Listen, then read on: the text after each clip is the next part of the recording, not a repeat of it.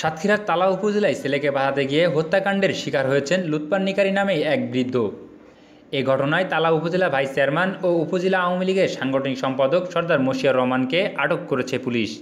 সোমবার রাত এগারোটার দিকে উপজেলা সদরের নলবুনিয়া বিলে এ ঘটনা ঘটে।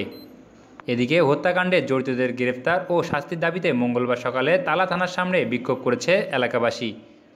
এ সময় তারা হত্যাকারীদের ফাঁসির দাবিতে স্লোগান দেন। নিহতের স্বজনরা জানান, রাতে নলবুনিয়া বিলের সরকারি খালে মাছ ধরছিল লুৎপার নিকারির ছেলে সেলিম নিকারি। ওই খালের সঙ্গে ভাইস চেয়ারম্যান সর্দার মশিয়ার রহমানের মাছের ঘের রয়েছে। সেলিম মাছ ধরার সময় মশিয়ারের সহযোগী রনি মাছ চুরির অভিযোগে তাকে আটক করে। এরপর সর্দার মশিয়ার রহমান ঘটনাস্থলে পৌঁছে রনি ও তুইন শেখকে নিয়ে সেলিমকে মারপিট করে। মারপিটের ঘটনা শুনে সেলিম নেগারের বাবা লুৎপার নেগারি ঘটনাস্থলে দৌড়ে যায়। সেখানে যাওয়া মাত্রই তাকেও মারপিট করা হয়। পরে গ্রামবাসী গিয়ে লুৎফর রহমানকে মৃত অবস্থায় দেখতে পান। এ সময় সেলিমকেও তার পাশে অচেতন অবস্থায় পাওয়া যায়। এদিকে রাতে স্থানীয়রা পুলিশের জরুরি সেবা ট্রিপল লাইনে ফোন দেয়। এরপর পরেই পুলিশ সর্দার মশিউর রহমানকে আটক করে।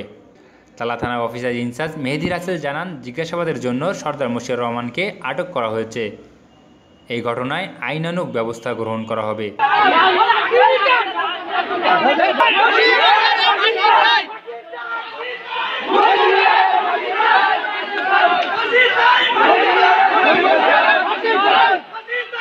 জিন্দাবাদ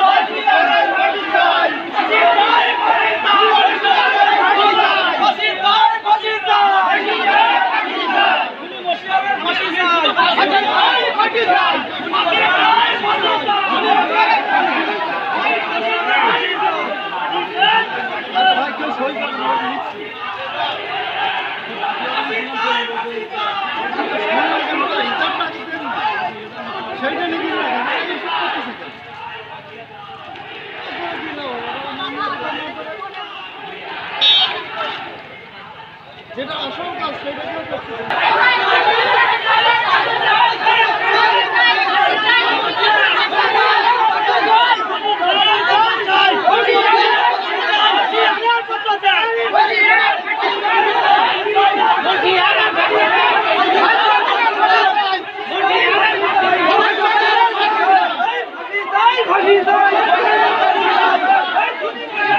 哎呀呀，马超！